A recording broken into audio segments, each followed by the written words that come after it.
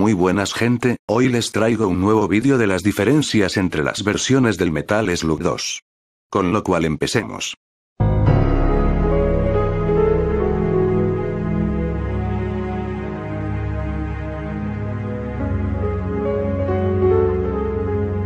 Metal Slug 2, es la segunda entrega de la saga Metal Slug.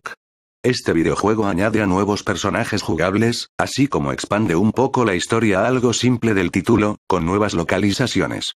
Este videojuego salió en muchos sistemas, con lo cual sigamos con la versión original para arcade. Esta versión funciona a 304 x 224 píxeles y a 30 FPS. Una resolución inferior a la casera, la de Neo Geo que es bueno como un arcade pero en casa pues esta versión funciona a 224i, y a 30 fps. Entre estas dos versiones no hay cambios gráficos, más allá de que bueno si vieron el vídeo del primer título, en Neo Geo había censura, en la versión casera del juego se tenía censura en la sangre.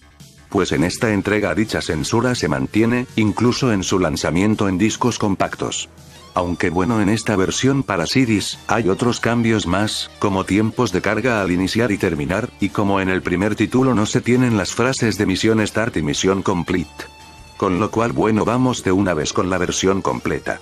O bueno la versión que se incluye en el Metal Slug Anthology, o Complete. Esta versión funciona a 480i en PS2, 480p en UI, y a 480 x 272 píxeles en PSP, y a 60 FPS todas. Aquí los cambios pues son mínimos, comparada a la versión en la que se basan que es la de arcade. Solamente se mejoran los filtrados en la imagen, soporte para jugar en 16, 9, así como la posibilidad de guardar en cualquier momento del juego. Y antes de terminar quisiera mencionar los distintos relanzamientos del título para Steam, Nintendo Switch, Xbox One, PS4, y móviles.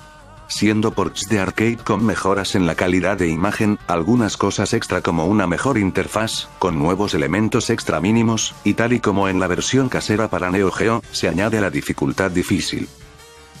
Y bueno este vídeo ha sido algo corto, lo sé, pues los cambios en este título son como que los mismos que se mira en la primera entrega, más al salir en casi los mismos sistemas, con lo cual aquí os dejo vuestro voto, si quieren que saque más vídeos de Metal Slug por separado cada título, o quieren todos los juegos en un solo vídeo como hice hace tiempo con la saga Metal Gear. Y bueno con todo esto aclarado nos vemos quizás hasta junio. Hasta entonces.